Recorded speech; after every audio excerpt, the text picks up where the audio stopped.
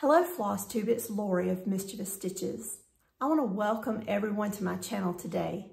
I'm very glad that you're here visiting with me. It has been a rainy, cloudy week and it's the weekend and the sun is shining and I am looking forward to spending my day today out shopping with my daughter Chelsea and grabbing some lunch. And I hope to spend a little bit of time this afternoon cross stitching.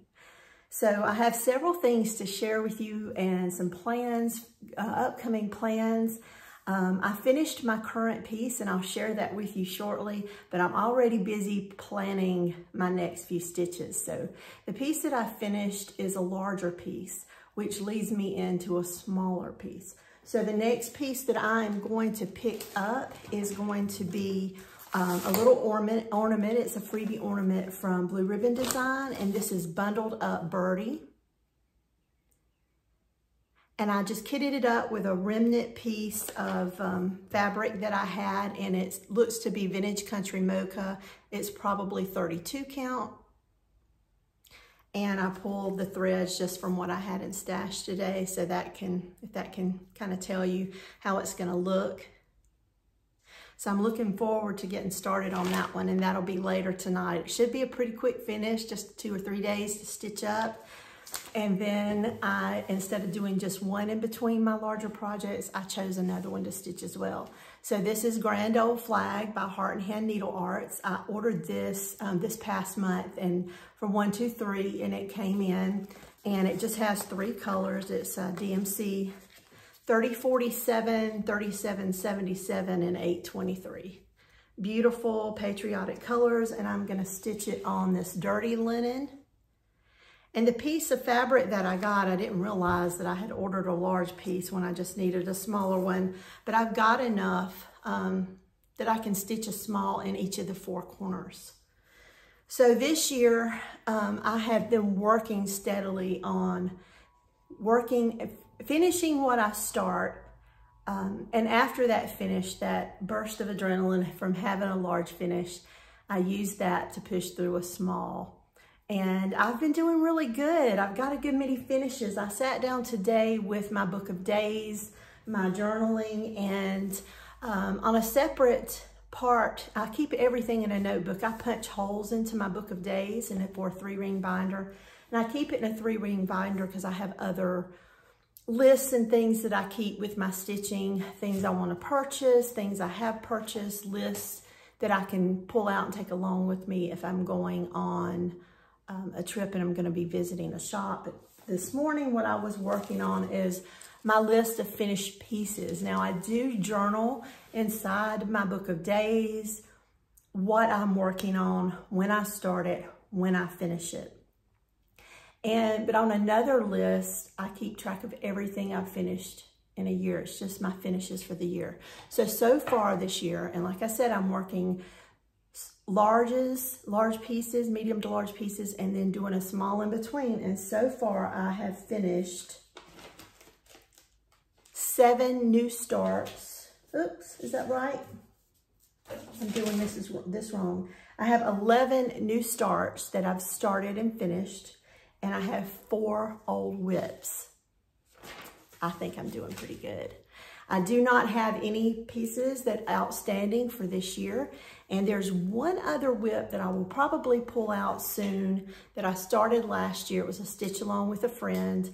And if I finish that one up, I will have carried no whips from last year. So that's a really good feeling for me. So my mind starts running towards what I want to do next. And so what I pulled out today, and who knows, I changed my mind. I think it's Stitcher's prerogative for me to change my mind often. But I will be working on those two smalls I showed you next. And then on Sunday, um, I'm going to start this piece with my friend Kitty. And this is the American Sampler by Calico Confectionery. And I'm gonna stitch this one on a piece of remnant fabric that I have. It's a 40 count. It's very light. Let me hold this up. I did share this in my last video. And to be honest, when I held it up in the video and I could see the ink from that print behind me, I was kind of concerned because I'm not one to travel. I will travel up to two to three threads, but other than that, I do not travel. When I mean travel, I mean carry my threads over in the back. And now I'm really concerned because I'm concerned I'm going to see those threads behind, but we'll give it a go. We'll take a look, and if I need to switch fabrics, I will, but I will be starting this on Sunday. So I will be working on those two smalls and working on this one as well. But after I finish this one, it's another commitment that I made this year to start and finish this piece by November. I've got to get going on it, but I'm a little on the on the fence about my colors. So this is my big toe and is the anniversary and it says above all things love each other deeply. And my husband and I are celebrating a milestone anniversary this year. It will be our 30th year in November and I'm very excited about it. And I pulled this pulled um, took a look at the different color conversions that they give at the bottom and I really like this one at the top now I thought it was black uh, my husband seems to think it's blue.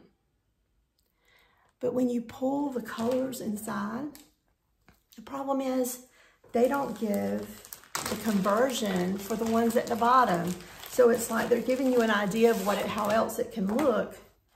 But this shows that this is 503 Mountain Mist and the dark is 934, which we know is a dark green, and that is not at all what that picture looks like to me. So I dropped down and I thought, well, maybe this is the 934 and the 503 down here. So then I'm trying to choose colors to do this one. And I just don't, I have not been able to find a dark enough, like a black blue that I really like. And I'd like to stick with DMC. But today when I was pulling Grand Old Flag colors, this is 823 and it's a dark, but it is a, like a dark, it's not gonna focus, there you go. It's more like a royal blue. These are the colors I chose, I pulled. And again, I'm just gonna flip the, um, flip this around. This I had this in the bag with the pattern. This is 3768, and one of the newer colors, the 168 is the light blue, and this is 3768. But I really want to go darker. But I do like the way these two colors look together, but I think I want a, a, a more broad contrast to the two colors. And then this is one of the DMC variegated. This is 53. And it gives me good ideas I wish I could get better color of what I'm wanting. See that blue in there? It's like a, see the difference? It's more dark, a blue black instead of, that's what I'm looking for, that right there in the center. You got any ideas? I'd love for you to comment with them. But this is gonna be my next start after the American Sampler and those two smalls. So within a couple of weeks, I'm gonna begin working on this one. I'm kind of excited. I've, I've done a couple of pieces for my husband and I, but I've never stitched a, a true anniversary piece. So that's kind of exciting to me. So then I was upstairs pulling threads, putting things away as you do when you finish up a piece. And I started thinking about another sampler that I started several years ago because I do, I have been doing a new start on a large and then when it comes time to do a large again, I'm working on a whip. And so I decided to pull out this one. And I keep wavering back and forth because there's a Christmas, a Paulette Stewart Christmas piece that I showed a couple videos back. I want to work on that. So basically, I'm a magpie. I'm, I'm the next shiny, bright, sparkly thing I see um, gravitating towards it. This week, let me share with you what it was. So I started this around the time I started Floss Tube, not long after Floss Tube, maybe within that first year. And it was a stitch along with Emily of Collected Possessions and several others. And we had a Facebook page and I never finished it. I don't even remember why I put it to the side. But I've been thinking about it. And this is Theron Traditions, Needles and Pins. A lot of people didn't like the verse and they were trying to come up with things to um, to put in its place within the pattern. And I think I'm going to leave it just as is, even though I don't agree. Um, but there is the yard. And the reason I am pulling towards this is my current finish was all about the yard. It was a huge yard in front of a house full of sheep. And I love, I've really enjoyed the mind numbingness of stitching all those stitches in that yard. But here is needles and pins. So if you take a look at this real quick, and then let me show you the pattern. I'm done with this first, say third, and I'm down into the roof. So I'm, or actually into the house. So I'm at least a third, a little over a third into the piece. Now, mind you, that house is gonna, that is, it's a 36 count I'm stitching it on, 36 count um, Luna. I don't even remember who the dyer is, it's not on the tag. But I do know, you know, that's a lot of full coverage stitching there. I'm gonna enjoy this part. Maybe not so much this one, but I'll finish this up first so I can treat myself with this yard. Um, but basically, I'm a little over a third. What did I put it down for? So again, here it is. So as you can see, the first third is done. There's a few stitches list, uh, left, and I've learned how to do a pin stitch st stitching on this. So one of the things that's missing is, is, I think, the gentleman or the lady's eye. Maybe it's her. Her eye. See her eyes missing? And it's time, it's time to finish this up. So I'll have plenty of left over at the bottom of this to stitch other, other smalls. Um, but this is going to be one of the contenders um, for my next whip start. So again, I'm upstairs in my stitch room thinking about that piece, putting threads away, and I find another freebie I had. I, I went up there to put some things away. So I put away some fabric remnants that I have from the pieces I've recently finished. And I, like I said, um, I, I, I've said before, I do try to um, put on the piece of fabric what count it is, uh, who, who the fabric is dyed by or made by, etc. And I didn't on this piece, but I picked up this piece and I don't need all that. And anyway, I did found a big slub right there in this piece. You see that? It's huge. What I'm gonna stitch is this freebie piece that I got with an order, I wanna say from Jen's Stitching Niche maybe last year and I'm gonna stitch this one. And I think this fabric will look really good with a winter because it looks like a sky, but it looks like more like a turbulent sky than a, than a, a blue clear spring sky. So I'm gonna stitch it on this. But then I need to, I do need to even up the fabric. Look at that. So do you, do you guys do this? I know I do when I get a piece like this, um, if I get it usually one, two, three, which is where I order a lot because from because I don't have local needle workshops. And they usually have everything right there at your fingertips, your threads, your, your patterns, your fabric.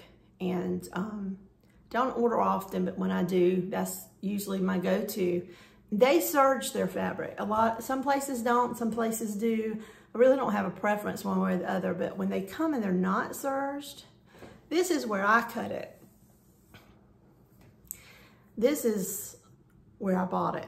And look, you can tell it's uneven. So a lot of times when I get fabric like this, I'll pull these loose threads like now, and I pull them until I get one continuous thread that goes from the top to the bottom of that fabric. And that way I know I have the true edge. So see, I'm still pulling and it gets a little choppy or a little difficult there close to the end because see, those are the end parts. But I do that on any piece that I get that's like this. So that's actually the true end. So this just needs these here that looks like a comb or sashing needs to be cut off. But I usually do that on my pieces so that I have that true end. And um, I need to do it on this one. But anyway, that was a side note to everything else. So again, since I got caught up with pulling those threads, I'm gonna use this to stitch this. And if I play my cards right, I bought one of those long, skinny tomato pieces. I forget the designer. She's got like a spools and a tomatoes. It's a long, skinny piece that you can make a roll out of or a small, long pillow. And I might be able to use this for the, the other side of this for that because this isn't gonna take that much. So anyway, that's a future, that's a future small. But that's what I do with my remnants. I'll cut them off and then I'll find, and I've been doing that for a couple years because I wanted this year to be a Christmas year. And to be honest, I, enjoy stitching this, the ornaments in between the large ones, but I don't think I could dedicate a whole year to just Christmas. I would get bored, not bored, but burn out on it. And then again, my magpie tendencies. I'm gonna find something else bright and sparkly to, to pull out and work on. So there's all of that. And I did share all with all of you my Heart Song piece again last week, and I'm gonna share it again this week. And I'm doing that not only because I think it's beautiful and, and I love seeing it, but I was gonna finish this up. So I will finish this up tonight. I will finish this up tonight. Here's my kit with my I'm calling it a paddle. Everything I need inside. I just need to finish it. So I need to do that tonight because this was supposed to be finished before this video. But this is Heart Song. Is that right? I think so. Heart Song by Heartstring Samplery. And another one, I just can't remember if I shared this in my last video. This was my last small finish. I know I shared it on Instagram, um, but lately my, my memory is, my short-term memory is just trash right now. and I can't remember if I shared this with you. So anyway, this is Oh by Gosh by Heart in Hand. And I started this a couple weeks ago and I finished it, started it while I was on my Memorial Day weekend vacation with my family. And here it is. And I finished it right after I come back, a couple of days after I come back. Is that the front? Yeah. And I love the bright colors. It's different. I do, that's one of the things I do enjoy about the Christmas stitching is because I'm more of an earth tone type person. And I just, I love oranges and greens and browns, just, just fall colors. But this one, Christmas, it's all about the colors and the reds and the greens, just the bright, happy. But this one drew to me. So anyway, this one is finished. And then I have this finished. So you waited a little bit. I made you wait to the end, but this is in my father's house by By the Bay Needle Arts. I started this piece, hold on just a second. I thought I would remember, but I don't. I started it in May, uh, Mania of 2018 on May 11th. And I have a finish. So this past week, when I last saw you, I was starting in the yard. I had, I think, joined the yard from end to end. I had finished the trees, but so I finished stitching all the sheep, their wee little legs, uh, the flowers in the yard as well on, as on the side of the yard, and the verse at the bottom. So it says, There are many rooms in my Father's house. I will dwell in the house of the Lord forever. So it's portions of two verses. The other thing, um, when I gave the last video, uh, someone said, did you realize you didn't finish the roof? Yeah, the there was a reason for that. When I said that I had finished the stitching of the roof, I meant the cross stitches there are, it was checkerboarded when I last showed it to you, and there are Rhodes stitches in the opposite. So if it was a, a checkerboard of black and red, you had the black that I did last week, and then the checkerboard the other, the red would have been the Rhodes stitches. So they're all through the roof. It gives it a great texture. I, I like touching it. But the thing is you can't really see it. So if you, if I get this framed, I will need spacers between the glass and the piece. But unless you get right up on it or you're a stitcher, you're not gonna notice that. I come close, I think, when I first started working on it, not to stitch those Rhodes stitches. I'm sitting here touching them now. But I come close to just stitching the um, the brown. It was actually, I said black, but it's 3371, which is a deep dark brown. And again, here it is. So thank you for traveling with me on this journey. I'm so happy. This is one of the four whips that I've finished this year. And I'm so happy to have this done. I bought this years ago at my local LNS that's now closed. It still had the um, tag in there for the fabric that they used to have. And I didn't throw it away. I want to keep it because I'll never have, have them again. But I had kitted the, it, the whole thing up. So this was 36 count pearl barley linen. I stitched it one thread of DMC over two linen threads. I used the Cobb 4 DMC. This is my second By the Bay Needle Arts piece. And she's on Etsy. I'll list her below, but I love her pieces. Um, I had one of them framed. I put it into um, my local fair, my state fair, and took, took the sweepstakes ribbon with that piece that year. And it was 13th Colony Bay, which I stitched on a white Lugana 25 count one over one. And it's gorgeous. And it was a lot of work, but they, the judges at the fair really appreciated it. And it, I was over the moon with that ribbon, but this is it. So again, this week I'm going tonight, I'm gonna start on my Bundled Up Birdie by Blue Ribbon Design.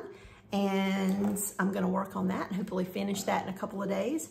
Sunday, um, I'm still gonna start American Sampler whether or not I'm done with the Bundled Up Birdie and try to put a, a stitch or two in that or thread or two. Let's say a thread, thread or two every night until I get those smalls done. So hopefully next week when you see me again, I'll at least have two small finishes and a little bit of progress on American Sampler to share with you. Um, those are my plans for now. And I did pull some out today. You may be interested in seeing, you may not. I have always, um, up until floss tube, I've learned a lot of things. I've changed some of the ways I've stitched. I've improved on things. I've reverted back to things. And this is one of the things I think I'm going to revert back to is um, this is just this is just some threads I've used over the past couple of years, and this is Classic Color Works. And I was just putting them on rings because I saw, I want to say it was Tanya, the Scarlet House, had was showing glimpses of her stitch room, and she had a um, like a pegboard type hanger on her wall in her room and she had the threads hanging from the pegs. I thought it was so beautiful. But before that, and I went to that. I've been doing that in a way, but I never got the pegboard. And then I thought, oh, they're gonna get dusty on there. I'm not gonna use them enough. And so before that, I would use these photo boxes. And then I would use the Loran, it used to be Loran. This is just Hobby Lobby's brand of the small bags. And I would put them in alphabetical order in here as I finished up a project so I could find things. I need to get more organized because since FlossTube, I have just become a collector of patterns, fabrics, kits, threads, and I've got more than I need of, of, of, threads and I need them organized better and I want them more cleanly organized. I don't want hanging on the wall or on the door, but I want to be able to access them quickly and easily. Not that this is not a quick and easy way. I just, I'm going back to this. So I, I'm going to start with the Classic Color Works and I'm going to be putting those in there this during this week here. Um, I've got a Weeks Dye Works and a sampler thread one as well that I've not pulled from in years because I keep buying. I gotta get back to this. I feel like I'm wasting, wasting, wasting my, let me take that back. I enjoy buying the cross stitch. I just want to be able to access my stuff better. So there's that. But anyway, I've got stuff laid everywhere. I think that's everything I want to share with you today. I'm looking forward to my lunch and my time with my Chelsea and little Waylon today. And, um, and my garden, my flower garden down the side of the house, this rain, they are just thriving. And I have some of my lilies that I, I bought off of my friend Clarence, so I don't even know what variety they are but they're blue and pink and the, the bloom, the flower itself on is that big around and they smell heavenly. Um, we went out there the yesterday morning on the way to work. My husband and I leave usually at the same time and he said, come take a look. And I was just, they're beautiful. I'll have to post a picture on Instagram so you can see them. The white ones especially are just absolutely gorgeous and they're as big around as my face. So I need to get over there and do a little bit of weeding just to maintain because you know with all that rain, not only do the flowers appreciate it, but so does so does that centipede grass and it wants to burrow up under under our, our eco border so it can get in there to that nice good soil where the flowers are. But I do, we do still have some yard work. If we'd stay home on the weekends, we, we could finish it up. But I always plan, I'm looking out the window. That's why I keep glancing away. I'm looking out the window at what I need to do. We've got some bushes we need to trim. And um, I did want to cut down a couple of bushes and remove one. Um, but we'll get to it. We'll get to it. Anyway, y'all have a wonderful, wonderful weekend. And um, take care. Hugs and stitches. Bye-bye.